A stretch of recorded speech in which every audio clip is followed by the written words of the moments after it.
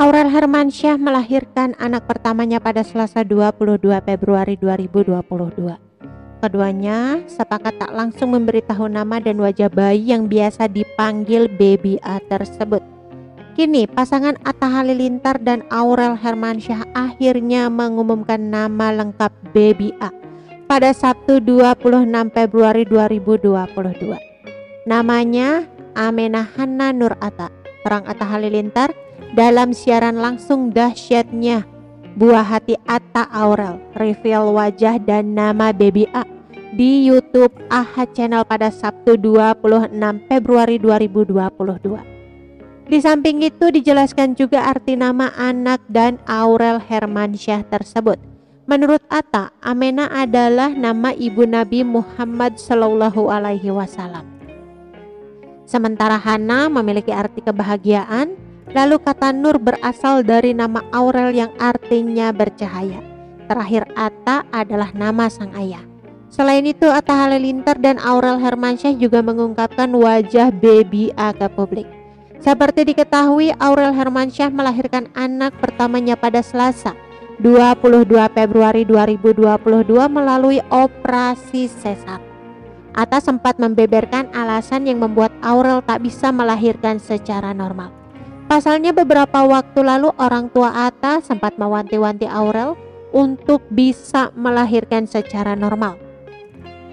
Dilansir dari tribunjatim.com, Ata menjelaskan jika ada alasan medis yang mengharuskan istrinya melahirkan secara sesar di tanggal cantik tersebut.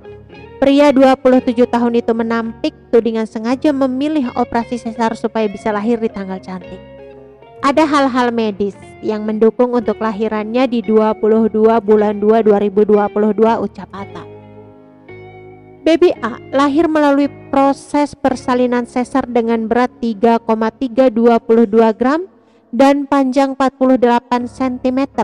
Anang Hermansyah, Asanti dan Kris Dahyanti tampak setia menemani Aurel Hermansyah sejak Hamin satu persalinan. Sementara saat operasi sesar berlangsung, mereka sama-sama berdoa. Asanti pun tak mampu menahan rasa kagum tatkala melihat sang cucu pertama kali. Tak ayal paras baby A membuat sang nenek Asanti begitu terpesona. Ia memuji anak Atta Halilintar dan Aurel Hermansyah yang begitu cantik.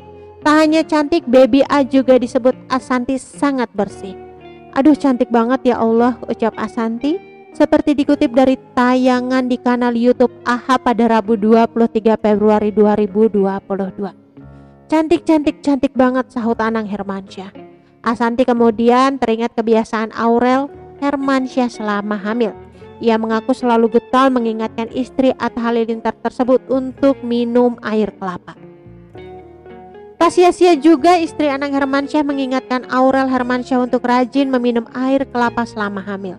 Terbukti baby A kini lahir dengan wajah yang sangat bersih.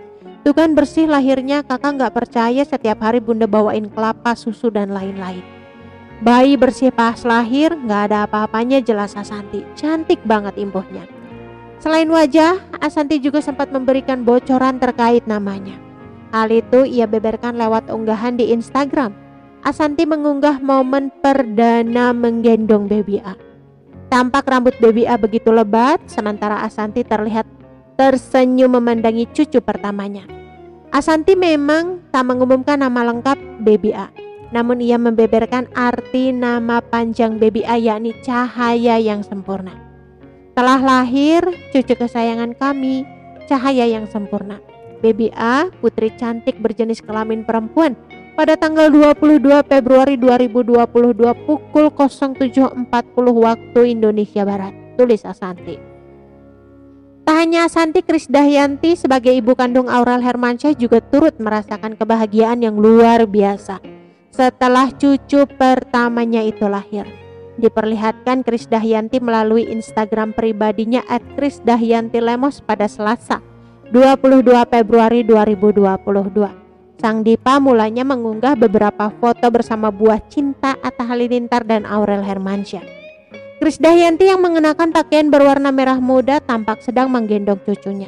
Terlihat dari mata Krisdayanti rasa bahagia terpancar ketika menatap wajah cucu perempuannya itu. Sedangkan untuk foto kedua Krisdayanti terlihat bersama pasangan Anang Hermansyah dan Asanti serta putranya Ajriel Hermansyah. Anang Hermansyah yang menggendong cucunya memperlihatkan raut wajah bahagia. Untuk foto terakhir Krisdayanti berlinang air mata ketika menggendong cucunya yang baru lahir. Oke teman-teman itu sedikit berita dari channel vlog berita sampai ketemu lagi di berita-berita selengkapnya Assalamualaikum bye bye